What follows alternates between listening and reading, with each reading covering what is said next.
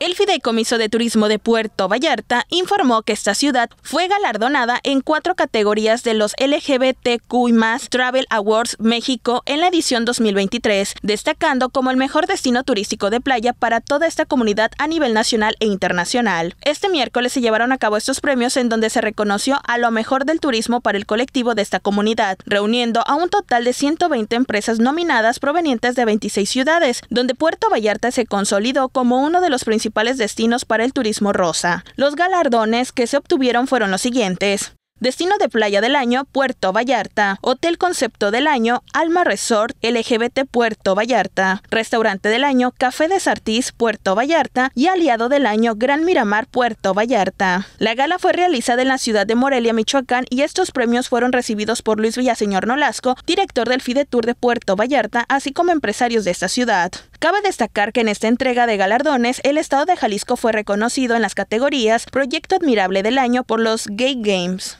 y Pueblo Mágico del año donde Tlaquepaque se consolidó ganador. Para CPS Noticias, Brenda Beltrán.